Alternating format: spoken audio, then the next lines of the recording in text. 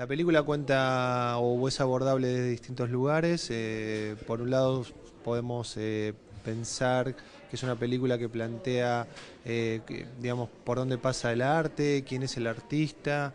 El personaje de Selena, que se llama Ana, comienza en la película casi estigmatizada por lo que le dice su maestra de canto al definirla como una subret, que es una dentro de la lírica sería una voz menor y en el abordaje de la película lo que podríamos eh, empezar a ver es qué hace ese personaje Ana a partir de haber recibido esa suerte de sentencia.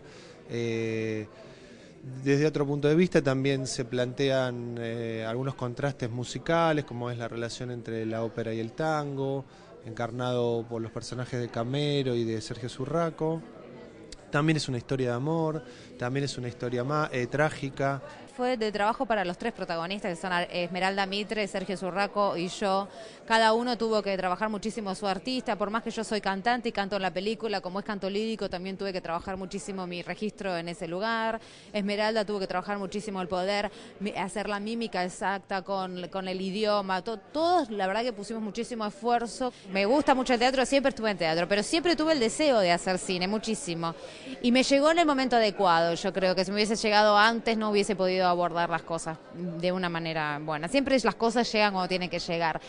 La película tiene dos puntos para mí muy importantes. Uno que, fue, bueno, eh, meterme y, incursionar profundamente en el mundo de la música y en el mundo de la lírica específicamente, que es mucho más complejo.